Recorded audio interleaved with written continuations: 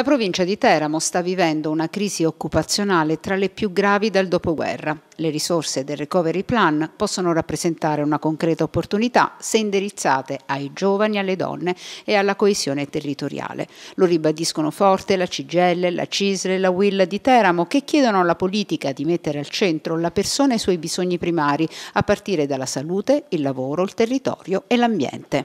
Oggi abbiamo un'occasione storica un'occasione storica e nell'occasione storica bisogna in qualche modo fare massa critica, fare sistema. Noi diciamo che bisogna mettere in campo una governance che analizza la realtà di questo territorio e prova comunque sia poi a costruire una progettualità che non solo digitalizzazione, quindi modernizzazione, non solo transizione ecologica, ci dicono inclusione e poi dicono una cosa aggiuntiva. Ogni progetto deve in qualche modo misurare, saper misurare, quindi non basta solo il progetto, faccio il ponte, faccio un esempio, no, deve saper misurare veramente qual è in qualche modo il vantaggio che ne hanno i, eh, i giovani, che ne ha la coesione sociale e che ne hanno anche le donne. Quindi questi sono indirizzi che a nostro avviso devono in qualche modo essere sempre sottolineati e ricordati in ogni pratica progettuale. Per quanto riguarda poi la qualità della vita, Teramo è anche l'ultima provincia della regione Abruzzo è al 76 posto con 20 posizioni in meno rispetto al 2019.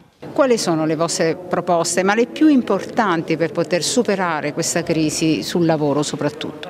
Noi vogliamo vedere fatte delle opere tipo le infrastrutture, rivedere la sanità, avere la possibilità di rilanciare un'industria, specialmente la vibrata, che sta soffrendo enormemente. Così come abbiamo bisogno di eh, formazione e di digitalizzazione che diventa il futuro di questa, di questa realtà. Qual è la posizione della CISL in questo momento di crisi?